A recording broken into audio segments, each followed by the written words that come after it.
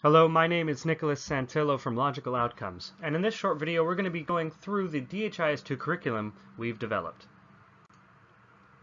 On github.com you can access our online learning notebook or our DHIS2 curriculum either online or you can download the notebook for your own use in OneNote. If you access it online, it'll look like this. All the content will be on the column on the left-hand side vertically, and you'll be able to access it through any web browser. If you're downloading it, you'll be able to open it in your own version of OneNote, and it should look something like this. As you can see, all the sections here are at the top. This is, of course, the Welcome to the DHIS2 training page, which is the first thing you'll see. And then there's a tab which helps you learn a little bit about OneNote, and then some section groups, the collaboration space, content library, and DHIS2 readings. In the collaboration space, we have three tabs. The meeting notes and documents are places where you can keep documents and keep notes of your meetings with your team.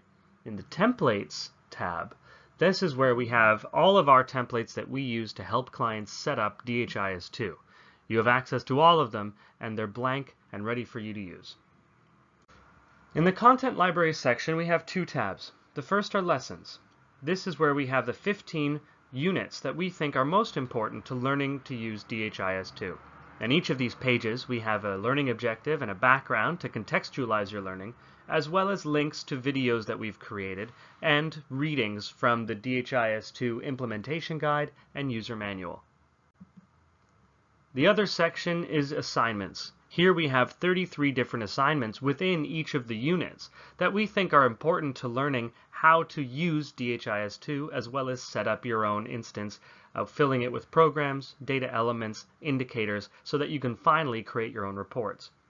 When you've gone through all of these assignments, you will have effectively created your own program.